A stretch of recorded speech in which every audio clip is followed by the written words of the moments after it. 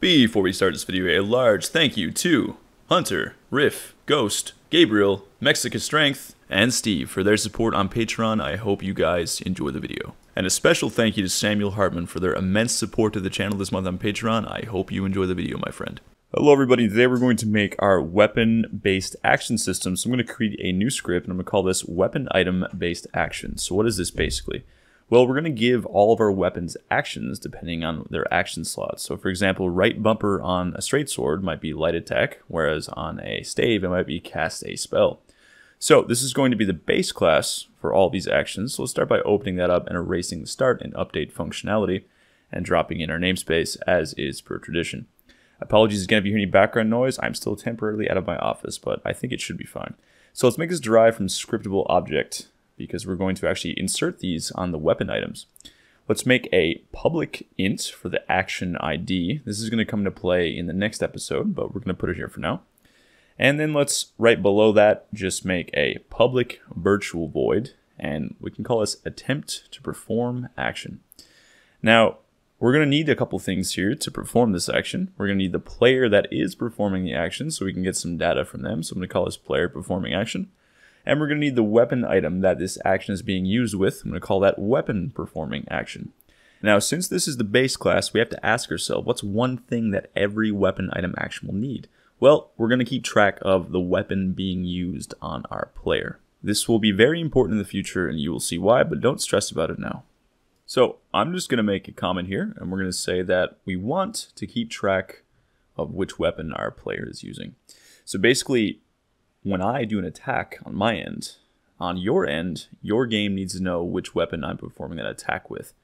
Um, so let's actually organize these scripts before we move on. I'm just going to drag all these into their respective folders. And then I'm actually going to make a new folder.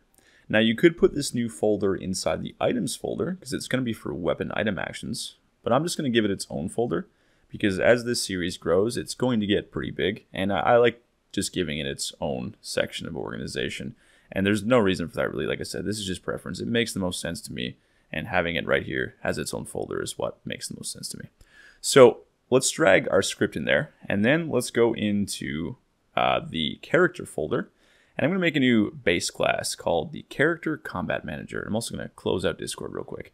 And then inside the player folder, I'm going to make the player version, the player combat manager. I'm going to open two of these scripts up. I'm going to insert uh, our namespace and erase the start and update functionality as is per tradition. And I'm going to make the player combat manager derive from the character combat manager. So after that's done, I'm going to make a variable um, inside of this for the current weapon that's being used. So I'm just going to insert my namespace here and delete the start and update functionality like so. And then I'm going to make a public weapon item variable current weapon being used.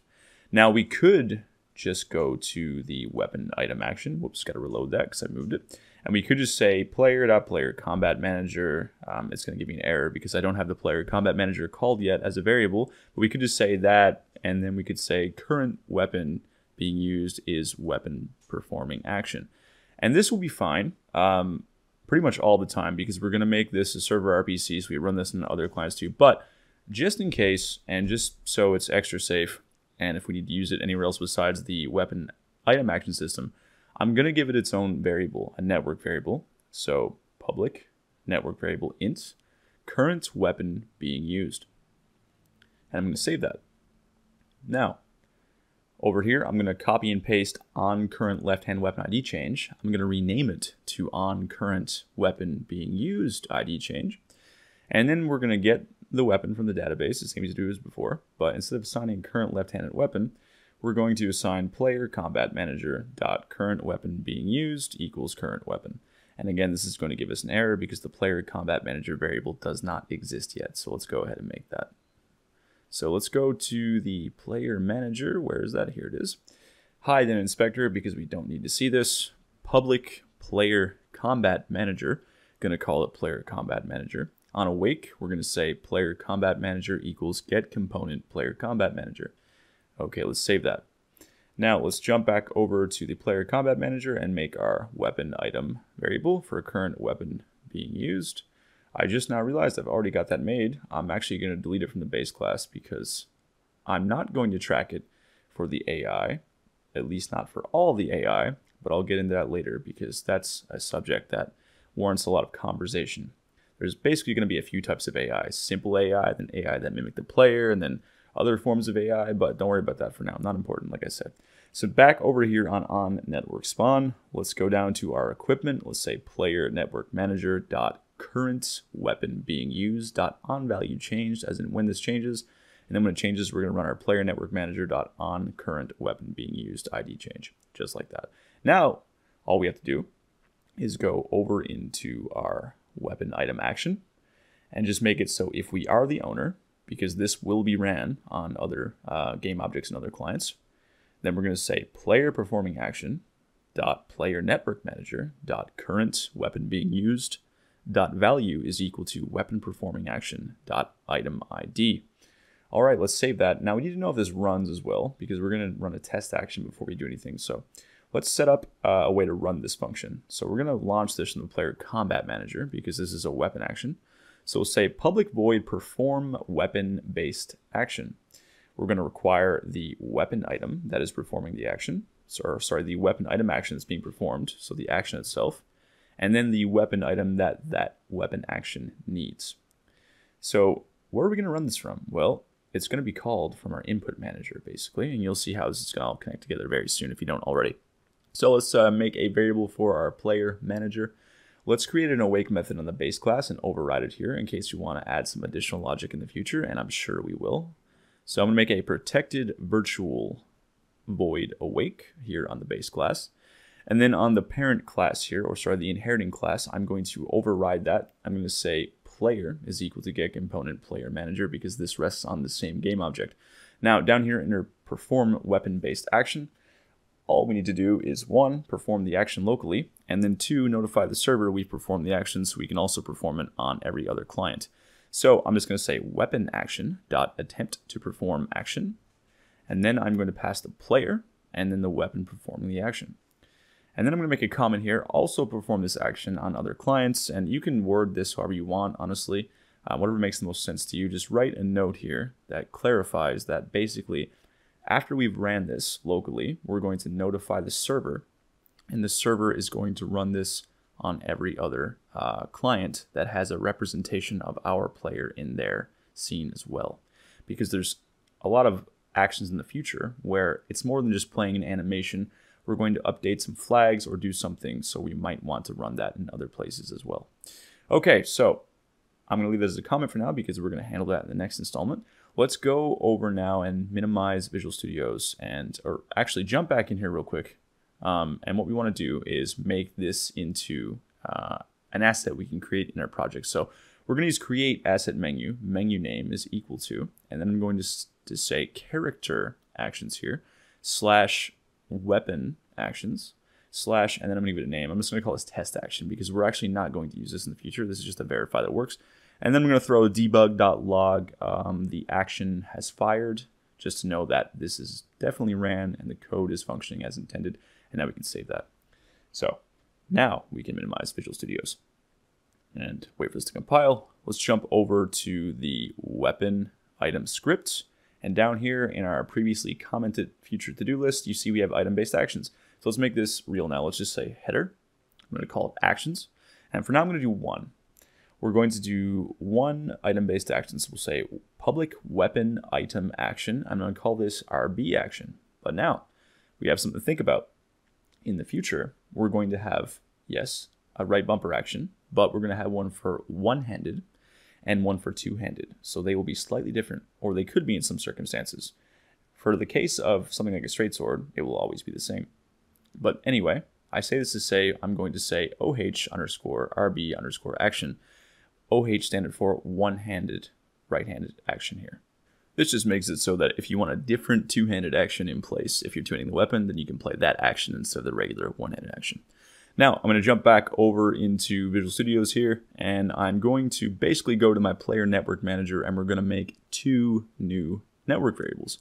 They're going to be is using right hand and is using left hand. This is just to keep track of which hand we are using during certain actions, and this will become very important when syncing data more later into the series, it's also going to be very important for the AI that mimics the actions of a player character instead of a monster or just a really dumb normal AI. So I'm going to initialize it at false, and the read permission is everyone, the write permission is owner, pretty standard stuff. I'm going to call it is using right hand and then is using left hand. Now let's make a function to quickly enable and disable one of these, and we're going to call this function every time we're using an input like right bumper, left bumper, LT, or RT. So I'm going to call it public void set character action hand, and this is just as it states, going to turn one of the is using hands on, the other one off. So we'll make a bool here, is it a right-handed action? And if it is, we're going to say is using right hand dot value is true, and is using left hand dot value is false. And if it's not, we're going to do the opposite. So if it's not a right-handed action, it must be a left-handed action, in which case we're going to say is using left hand is true and is using right hand is false. So this doesn't necessarily mean that you're only using one of the hands. It just means you're using the action on your left-handed weapon. So for example, if you have a power stance action on your left-handed weapon, you're still accessing it from that left-handed weapon. So that's what it's there for.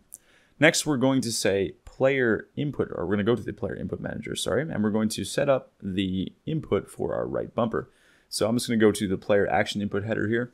I'm going to make a serializable field so we can see it in the inspector if you want. And for a bool RB, this doesn't need to be serialized, it's just if you want to see it there to make sure it's never getting stuck or locked. I'm going to say bool rb underscore input equals false. And then on the on enable, we have to set this up. So I'm going to say player controls dot player actions dot rb, but you can see this is not set up yet. So let's go make a right bumper action. So let's go to our, I believe we called it player controls. Yes, we did. You can go to your player actions here. And if you want, you can just duplicate the jump button because it's going to be set up the exact same way. It's just a normal button. I'm going to call this RB, all caps. I'm going to open it up, and now it's not going to be button south gamepad. You could say bumper, but you wouldn't get the generic gamepad result here. So I like using the gamepad result because it works for all the controllers. So I'm just going to say right shoulder and select the gamepad one. Close that and save it. Now if I go back into Visual Studios, I no longer get an error. I say dot performed plus equals i equals greater than RB input equals true. All right, now let's actually make some functionality to do something when this input is turned to true. So I'm going to make a private void handle RB input. The first thing you want to do is if RB input is true, set it to false, so this logic only runs one time. Now, I'm going to make a to-do comment. We don't want to do anything if we have a UI window open in the future. So if we have a UI window open, just return but right now we have no way to track that because we don't have any UI menu set up. But this is a to do, so I will put it here. It is very important. All right, right below that, we can make a comment here, or rather we can call upon which hand we're using before we do that. So we can say player.player network manager, and I already forget what I call that function, so let's go back. Okay, set character action hand. Since this is right bumper, this will always be the weapon in your right hand slot unless you're two-handing your left weapon, which we will get to in the future. But regardless, we're going to say player.player network manager dot set character action hand true. To do, if we are two-handing the weapon, we want to run the two-handed action instead of the one-handed action. But for now, we don't have that, so we can come back to that. We can simply say player.player combat manager dot perform weapon-based action, and we pass the right-handed weapon because this is the RB input, and we have no way to detect if we're two-handing the left weapon yet. And then we pass the right bumper action because this is the right bumper. And then we simply pass the current right hand weapon because this again is being used by the current right hand weapon. All right, now if we save that and call that in handle all inputs, this should function. So I'm just going to say handle RB input. And for some reason it's not auto completing. It's because I said hand RB input. Nice way to go. Fix that real quick. Handle RB input and then save and minimize this. There we go. Now jump back into the game here go to data, we actually create this action. So let's make a new folder for weapon actions inside our data folder. This kind of mirrors the scripts folder. And then we're going to go to character actions, weapon actions, test action, like so. I'm going to call this test action because this is just temporary. Next, let's go to our player prefab. And oh, we should go to the straight sword too and actually drop this action in. So let's just drag this test action in on the straight sword. There we go. And we can save go to the player prefab, and then we need to actually add our player combat manager, or else we're going to get an error. we need to call the function from the player combat manager. So let's put this here. I'm just going to drag it up under the player manager just for no other reason other than I feel like it belongs there. And now I'm going to start the game. I've loaded my straight sword on my hand. And if I press right bumper, the action has fired. There we go. So this is the framework for our item-based actions. What we're going to do is make this so it basically plays an attack animation depending on what you're doing. And from there, we can make all kinds of cool actions like a running attack, a jumping attack, a rolling attack. And then we can have things so basically, if you're using something like a straight sword, it's going to play a melee attack. But if you're holding a caster item, it's going to cast a spell, etc., etc. So in the next episode, we're going to further expand upon this. We're going to set up our light attack and we're going to sync all these actions across the network so they perform as they should. And then you will be able to basically hit characters that join and kill each other. And once we get some of the basic actions down, we're going to make some basic AI, and then we can establish a nice little game loop. So, thank you very much for watching. I hope you all have a lovely weekend. And if you're watching this early, I hope you have a lovely week and a lovely weekend. And as always, thank you for tuning in. I'll see you next time.